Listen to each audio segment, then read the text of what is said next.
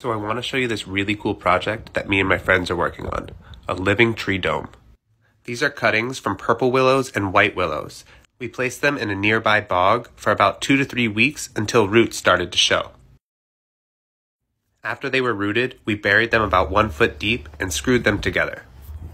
As they grow, we're going to weave them together to create a tree dome. Like and follow for more updates.